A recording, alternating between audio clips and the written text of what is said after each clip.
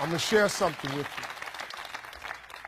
I'm going to tell you something that every successful person has to do, including you. Believe it or not, every successful person in this world has jumped.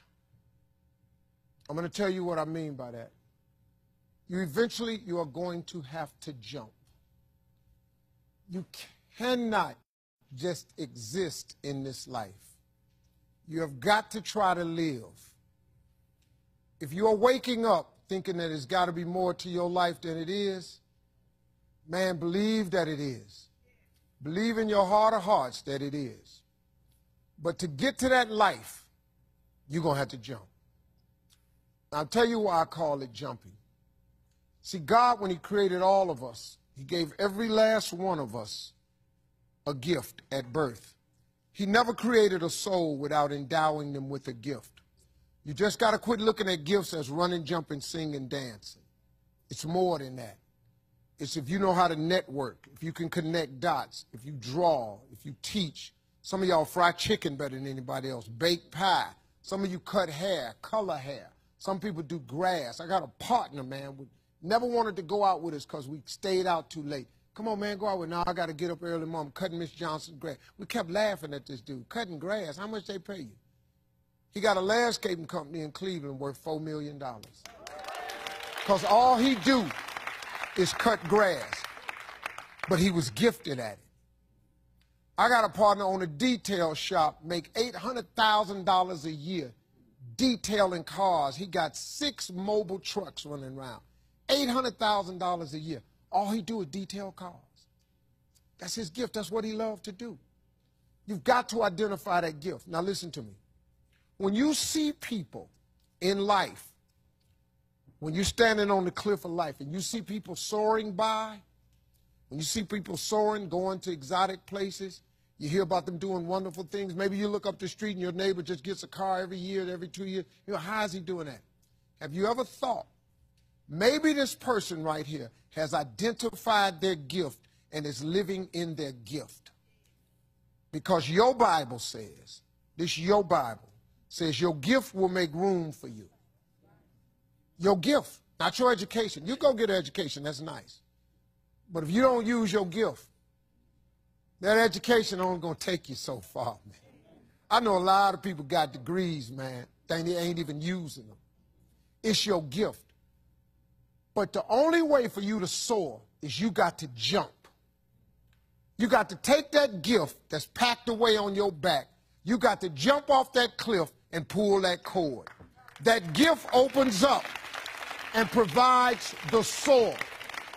If you don't ever use it, you're going to just go to work.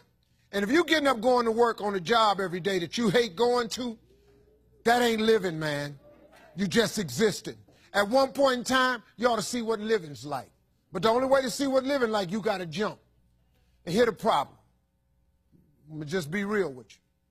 When you first jump, let me tell you something. Your parachute will not open right away. I, am sorry. I, I wish I could tell you it did, but it don't. When you jump, it's not going to open right away. You're going to hit them rocks. You're going to get some skin tore off on them cliffs. You're going to get all your clothes tore off. You're going to get some cuts on you. You're going to be bleeding pretty bad.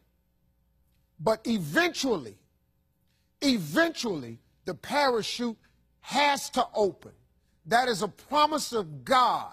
That ain't a theory, that's a promise. His promises is true, because listen to me.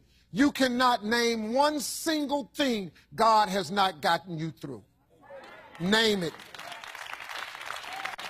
And if he ain't got you through it, he currently pulling you through it right now.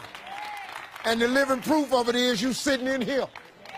If he hadn't got you through it, you wouldn't even be here. So if he ain't never not got you through it, why would he not let your parachute open? He, it has to open, man. But it ain't, you got to jump, though. Now, here's another thing. You can play it safe and deal without the cuts and the tears. And you can stand on that cliff of life forever safe. But if you don't jump, I got another promise I can make you. Your parachute will never open. You'll never know. You'll never know what God really has for you. See, your God has a wonderful life for you. Once again, I'm going to refer to your Bible. Now, you go down there, you memorize these scriptures, you don't apply them to yourself. Your Bible says that he comes to give you life and give you life more abundantly. If I were you, I would jump. Because that's the only way to get to that abundant life.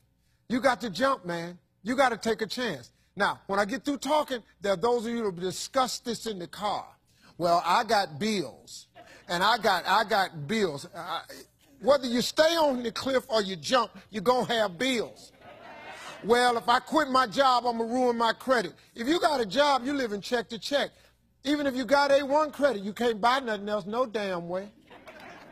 At one point in time, man, do yourself a favor. Go, go see what God really do. God hold you up, man. He ain't gonna let you fall. He ain't bring you this far, let you fall. Do yourself a favor, man. Before you leave this world, before you die, jump. Just jump one time. Just jump. Thank you very much.